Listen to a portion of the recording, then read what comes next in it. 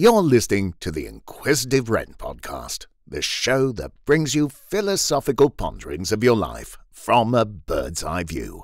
Now, here's your host, Sha. So, welcome to the Inquisitive Wren podcast. Really nice to have you here. Today, and which you would know from my intro, I've got a very special guest. So, Anne Cecile is a French author, screenwriter, and filmmaker. She has written five feature films, uh, two TV pilots, amazing, and four short films, as well as her debut novel, You Pull Me In, published in 2019. I'm really excited to talk to her today about her creative process and the creative process. What happens, how she's pulled in, no pun intended, how she's pulled in, uh, how it all happens for her, because it may be different for everyone, and also how she got into filmmaking and screenwriting. So, welcome, Anne Cecile. Hi, Sha. Hi, lovely to have you here. Oh, I'm excited to be here. Very honored to be here. Wonderful, wonderful. I have got loads of questions because you're such a busy bee. You have so many projects on the go, and you've actually completed some projects, which is a problem for a lot of people. They start, but they don't finish. So we'll talk about that as well. But I want to start out, um, and guys, you will hear me ruffle papers sometimes. I'm new to this, so bear with me. I've got notes, and it's just going to happen that way. Okay, so um, I want to start out by asking how you began to write. I mean, what sort of pulled you in to writing? Um, I spent a lot of my childhood inventing stories. I think I spent a lot of time on my own actually, because my family was into tennis and I wasn't into tennis, so I always had to invest in invent stories in my room. I think a lot of writers or or creatives have that in you know the background. Well, I was when I was a kid, I used to create stories, but um, I was thinking about acting first actually. So I got into that first of all, and I remember I went to because I lived in London for 22 years and. Um, I started with the, at the London Drama School, and for a while I did acting. And uh, but I remember it being really difficult because um, well, you in, in a creative, uh, so being a creative is always a bit difficult because you know if you work in a normal job, I mean, I'm using you know quote marks here when I say this, but not every single um, email that you send is going to be like, oh, you could have used that word in that email, or you know, something like that. But when you're creative, like people like really critique your work a lot, and you know, it's it's kind of difficult sometimes with self confidence. But I think for actors, it's even worse because it's really immediate. You know, it's like didn't like the look of me. You know, it can go even beyond that, or my personality, or anything like that. So I find it difficult, and I have a hell of a lot of respect for actors because of that reason, actually. But I did that for a while. And then I went to Los Angeles. I went to, uh, to see a friend of mine. I spent three months there and the late 90s. And, um, and then uh, we did a, a writing workshop. And during the writing workshop, I had no expectations. I didn't know anything. And I wrote this thing that was like a film.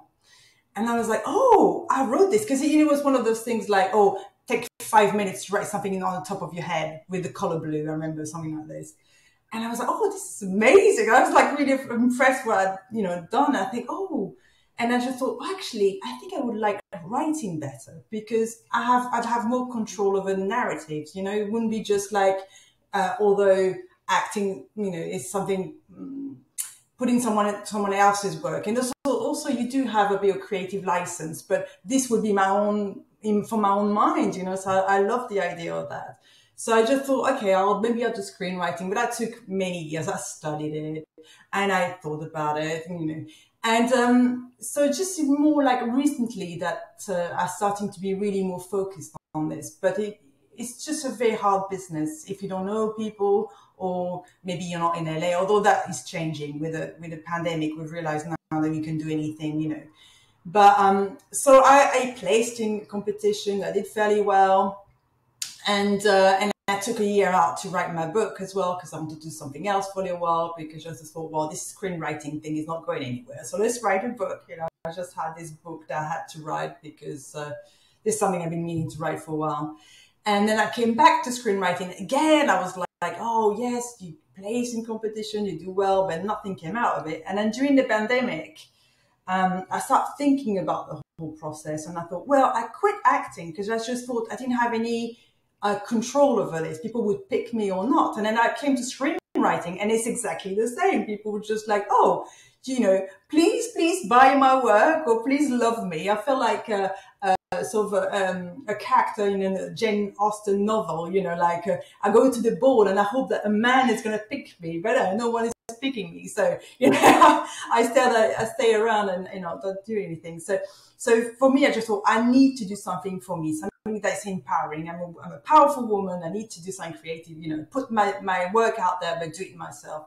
So then I started to think, well, I'll, I produce my own short film, you know, in Barcelona where I live now. I didn't know anybody, so I started to like research online and do like a Zoom meeting and stuff like that. And I thought, but I need to do it differently because um, usually when when filmmakers uh, do short films, they put mm. it to film festivals, so that takes a whole year. You know, people maybe get an award or something like that, but mm, it might get somewhere, but you may get a few laurels, but you know, it doesn't necessarily lead anywhere. And I just thought, let's do something different, something more like something quicker. So I just thought I'll do a comedy because I love comedy, and I think I have a knack for comedy. I, I think, and um, and I thought, how about I get an influencer to to to star in the in the in the short, and then through his um, fan base, we can have like a sort of YouTube live and then get like maybe a million people to watch. And then I can go to producer and say, look, I've had at least a million people look at, my, watch my, my movie. So that's, that's the idea. So I started out in March, like I had no idea about producing, no idea about anything, and I didn't know any influencers, to be honest. So it was like, oh, and I had to find a local one as well because I live in Barcelona. I can't win someone in the US, flying someone from the US. I'm, I'm not rich, you know, I don't have the money for this. So, um, so I started to get people, gather people around. And then before contacting the influencer, I had to get the actors for the actual film because he would have a very small part. Uh, basically, it's called a penis conundrum, and it's about a lady who becomes very strict lady who becomes flustered when she sees the outline of her colleague's penis, you know, during a meeting, and then she goes a bit, a bit bonkers after that. So it's all of that. So the, the, the influencer is the penis man, and so he doesn't have any word, you know. So that's also the thing for him. It's an mm. opportunity to act, but also he's not a professional actor, and it's something obviously professionals. So so it was like a, a, a good trade off, I felt. Mm-hmm. But the other two actors are proper, proper proper professionals. So I, have had a sort of like discussions with them. And then recently we've uh, filmed a teaser for it because we're trying to do a crowdfunding campaign, campaign as well as trying to get um, sponsors for it. And um, so now we're editing the, the teaser and then we're hoping to take that to the influencer because this guy is obviously like all influencers, they are courted. So I couldn't just come up and say, "Oh, I'm going to make this yeah. film," and you know, show me what it's going to look like. You know, people want to see. They just want to. They don't want to just amazing. But we're going to come to that. We're going because I've I've got so some interesting questions. I think anyway about the penis conundrum. uh, I had my whole spiel to introduce that bit, but it's okay. it's okay. You're being Anne Cecile. It, it just happened, but we're going to come to that. Um, but you know, I wanted to ask, as you were talking about acting and things like that, what was your first paid job? Do you? I did get uh, a paid role that was for Channel Four. I remember that was like one of the background actor for um, uh, something that was like a, a, a documentary, but like one of those they act in. They're not, they're not mockumentaries because that's right. mostly no, but right. a real documentary based on the. But then they, they always add those scenes in. I don't know if you know, like you okay. know, that shot somewhere. So I was one of the background actors. So it wasn't a huge role. Um, so that was the first thing. And then with screenwriting, a few years back, I was paid to do to do something for a, a Swiss producer and for mm. TV. And uh, but I'm not even sure that you went much further with it because that's what happens. Sometimes you would write and even get paid for something, yeah. and yeah. you know you don't see the you know you don't see you don't see actual end product mm-hmm. in the mm-hmm. end. So that's also mm, with that creative. It's always the tip of the iceberg. People would have on, would be on IMDb and then say, "Oh, I've done all this," but they may have done other stuff. I mean, with actors, with actors, a bit less, but in this case, it was mm. because no one you know, I didn't get credit for it, and the agent, my agent was a bit funny at the time as well, and and being a woman as well, you don't. Well, like, like well, well, it's but it's something else I want to ask you about because you're working on something to do with feminism and women, and we're going to come to that as well. You have so much going on, uh, but just about that, um, because you know the creative process, as you say, sometimes people starve for their art uh, and if we look at history, centuries ago, people died for their art. Yeah. And it's not a very prosperous, well, it can be, but I suppose it just depends. Mm. But what mm. do you make about that? Why do you think that is so difficult sometimes for people to get going? Ah. Well, I think that's a narrative that we all believe in. Yes and I and I think as if with everything else, it's very destructive. Right. And I think mental health and creation, we always think, oh, you have to be a little bit crazy, or you have to be on drugs, or you have to be drunk to create, which is awful, awful, awful. It's not true. Mm. You can create and be happy. I just mm. think because of this narrative, we don't think we should be paid for our work. We don't think, you know, it's all in the mind. And I think it's a a very unhelpful and destructive destructive narrative and some people do get paid for their art. Such a good point. Such a brilliant point as well. You're absolutely right. So um, people do see really creative people as a bit nuts or they on drugs because we have so many examples, of course, of or commit suicide, of course, or have mental health problems, but or are very creative. So, we, but we know? have so many examples of uh, well-known people who have turned to drugs. But I, I, I like what you were saying there because I think it really is a fact of. I wonder. Um, see what you think about it. People would have had those problems, I believe, even if they weren't creative. I, I don't think we should bl- we can blame creativity for a person using drugs. Uh, what do you think?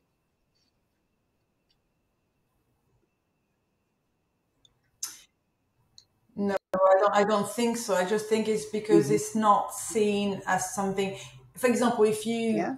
you know, with your family, exactly. if you go and say, oh, I'm mm going to study to be a doctor, I'm going to study to be even a, a secretary, mm-hmm. anything, people go, oh, yeah, that's, that's a career that's something, you know. But if you're going to be a creative, it's yeah. like, oh, you're, you're a bit of a loser. Oh, show me what have you done? And unfortunately, it takes sometimes sometimes years to get something yeah. produced, and so it, it's it's hard because you know we all you know people's opinions of us are very important, right? I mean, we can't say, oh, I, I just go through life. I don't care what people think. Well, no, it's not the case, you know. So, you know, we don't always have supportive parents or anything. I think it's fear because, mm-hmm. like I said, again, the narrative is very much, oh, you're going to be a starving artist. Yeah. Or you're going to take drugs or whatever. And, and I think the your parents want to protect you. So I see more of something like this. But I think if you're yeah. creative, what you need to do is protect your work. So most of us mm-hmm. have to do a, a work on the side, a job on the side. So whatever that job is which actually helps us because then we get to see life as well, experience life, you know, different type of work, and and keep your creative process perhaps to yourself. It's Such um, I in history, if we read about all the great artists, they seem quite sensitive to their surroundings to other people. You know, some of the greatest writers, you can feel the emotion. So do you experience that and uh, your sensitivity? Do you think you have a sensitivity to create? Yeah. You need to have empathy for sure, and you observe people a lot, but then you have to drudge up a lot of uh, of your personal yes. issues as well, because anything that you create needs to be real, you know. Otherwise, there's no point in it. So it comes from a place of truth so that's, I think creatives don't have a choice. I think if you had a choice, I'll, if I had a choice, I'd be, I don't know, I don't know where I'll be, but but I mean, uh, although I, I think you can have both actually, because yeah. my new venture is about that. But but I think yeah, you know, okay. if you're creative, like um, no, no, I know what you yeah, mean, but that's what happens with creatives as well. It's very yes, interesting. Yeah, well, you can. I lost, got it all a bit lost in my. yeah. I'm a sensitive person. You were saying sensitivity. Yes, indeed. It's sometimes raw, and I think for many of us, it feels that way because it's not again it's not going right. to write an email about mm-hmm. if you work in an office and you have to sell i don't know yeah mm, anything and you're like you don't care about you know okay. you can talk about it because thank you we got there in the end it's exactly that though this is you you put yourself up. yeah no no that's right now um gosh there's so much so i want to talk a bit about the penis conundrum since you brought it up do you know about Freud? Do you know Sigmund Freud? Uh, his idea about penis envy.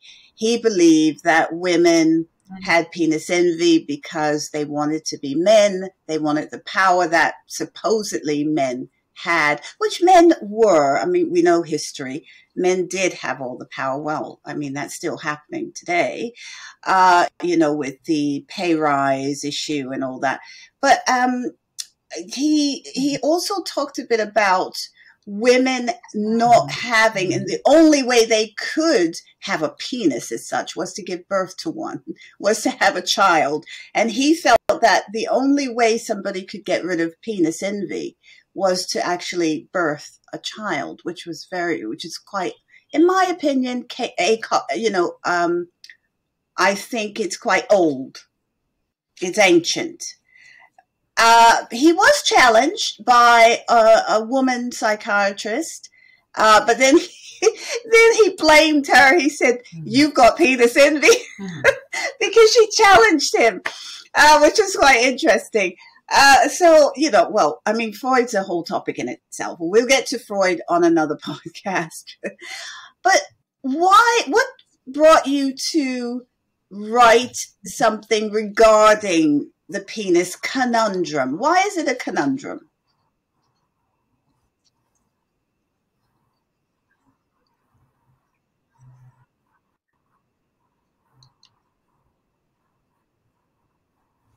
Because I, I thought about women and sexuality, uh, how we, because of society, I mean, it's a very long subject, this, but I mean, how we we do have sexual feelings, and I think it's the ebb and flow and some days it's on our mind. And I think how we tend to hide this for mm. many reasons. For men, because well, we're women, then we're not gonna go, oh, you know.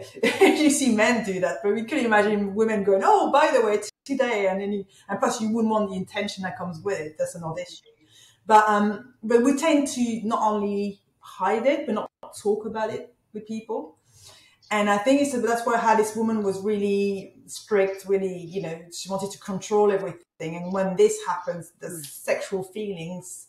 Is, so it became this comedy, but it's also examining how we, you know, how we women sort of like in, you know, experience experience this and and and and that's that's what it is. It, it catches her by wow. surprise because she's at work, she's on, she's in control, she's very strict, she's you know, every yes. back is straight and then she sees it and she's oh she doesn't know where to do. interesting look. because like, biologically oh, that's What's spot on. And then you know biologically uh, we only need to see an image to, to, spur our because physical sensations. so uh, people think the mind and body don't work together.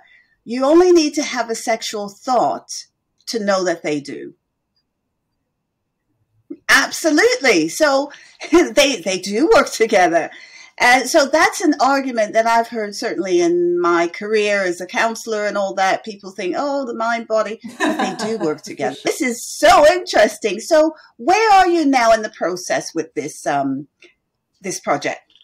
Um, finished the, te- uh, the teaser, which was really interesting for me because I first I didn't have the confidence to direct it. I just thought, oh, maybe I'm not good enough for this. But I had such a a wow. key idea in my mind. So I had someone else do the teaser, and it wasn't exactly how I wanted it. And um, so that's why it's taking a while to edit because it wasn't exactly how I wanted it. So now it was good because now I know I'm going to direct it. So that's what I found out from this, which is great.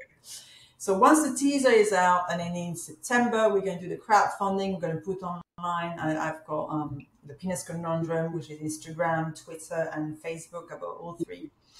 And then because I do diary, because what I've done, I've decided from the start to do like uh, particularly more in, on Twitter, but also on Instagram, like from the start because it's my first short. I'm doing this. I have this big idea, this big production, the influencer, everything, and I just thought, well, I'll I'll do, I'll just be honest. I'll, I'll give an honest account.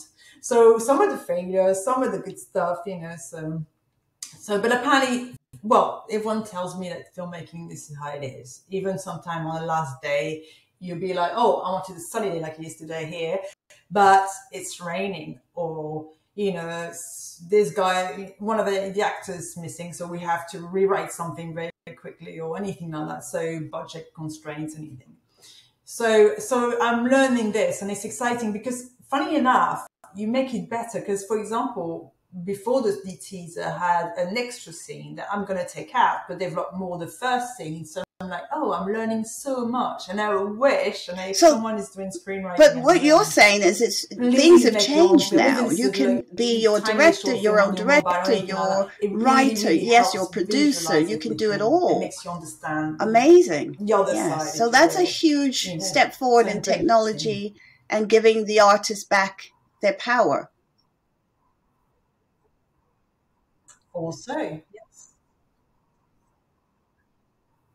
Correct.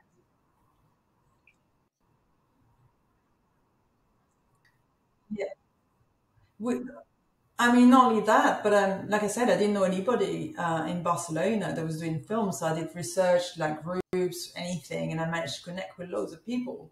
And at the same time, I had a woman I met after that, who was a friend now, director, who managed to produce a whole short film with people from seven, seven different countries, you know, during during the pandemic called The Pill. Her name is Louise, and it's just, um, it's, and also my other thing, the other thing I want to do is like my team is mainly hmm. female because women, because only 30% of all yes why is that why is that thought, oh let's try and you know what it was very hard it's, it's I did find it a bit harder to find women because we don't advertise ourselves as much as men. We don't. We're not as good. That's one of the things we need to improve on. Well, because we're supposed to stay in our lane, isn't it? Like when you know, you tell the guys, "Oh, be boisterous." You know, you you you go out there, do it. You know, you're you're a guy. You know, you're supposed to be free. Do you know what I mean? Like, you know, when when they mess around, when they mess up, like, oh, but they're boys, you know, they're supposed to do that. Us, we don't, we're not allowed to do this. We're supposed right. to stay That's in right. our lane. And, and it's been really interesting because, for example, they say that girls do better at school. And people were like, oh, that's a good thing. And a psychologist, a female psychologist, actually it's not that good because it means we, we do well at school because we want to stay in our, in, in our lane and we're supposed to do well. But after that, we're not going to be entrepreneurs. Yeah. We're not going to be people because we're going to think, oh, no, I can't do this. So yes, True. for us, it's uh, it's hard to, to, to, really really boast about. You know, some men like you know, as, you that's an entire sociological experiment oh, we so can do. But we've everything. got loads of work I'm to do. You're right. Like, no what do shame, you think you know? the biggest the challenge your industry so you need to learn to say, oh, you uh, know, I'm good at today. This. I'm very good at this actually. So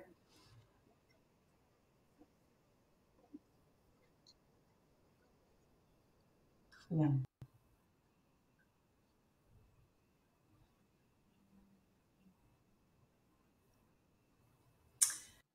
Uh, well, I mean, there are many more people. I think about screenwriting in particular. Many mm. more people trying to do films now, and I don't know why that is. Because we were talking about that the other day on, on Twitter with other writers about like people assume that you bring that brings you money if you you become the next Spielberg, but um, there are more people on the market. Also, I mean, more opportunities now with different platforms and everything. So I think it's yes. Better yeah, now like if you it. don't know anyone in the so business. So we're going to get into your head just a little bit. How do you think media, ideas are born? Whatever you can succeed. So I think, I think yes, I think it's better, but it's still hard work. I think that yeah. Mm.